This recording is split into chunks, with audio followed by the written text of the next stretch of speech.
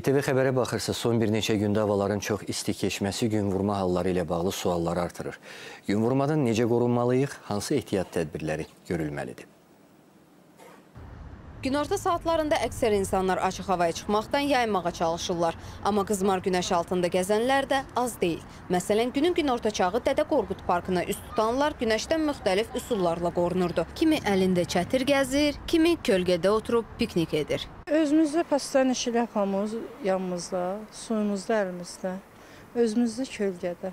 Şlapa taxırıq, tez-tez su içirik və gölgədə yeriyirik.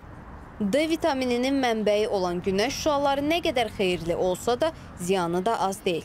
Belə ki, yay mövsümü başlayandan günvurma şikayəti ilə bağlı təcili tibbi yardıma 16 müraciət daxil olub. İlkin simptomlar baş ağrısı, baş gicəllənmə, ürək bulanma, qusma və huşunu itirmədir.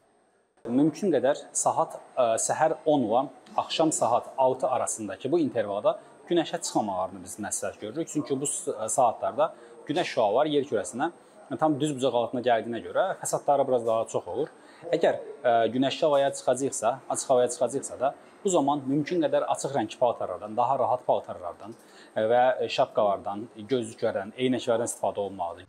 Qeyd edək ki, gün vurmaya məruz qalan insanlardan risk qrupuna aid olanlar, 5 yaşdan kiçik olan uşaqlar, 65 yaşdan yuxarı şəxslər, şəkərli diabet xəstələri, təzyiq xəstələri, açıq havada işləyən şəxslərdir. Və əgər gün vurma əlamətlərindən hansınısa hiss edirsinizsə, dərhal kölgəyə keçib bol miqdarda sərin su için və mütləq həkimə müraciət edin. Səbinə Şükürova, Etibar Qurbanov, İbrahim Yusifli, İTV Xəbər.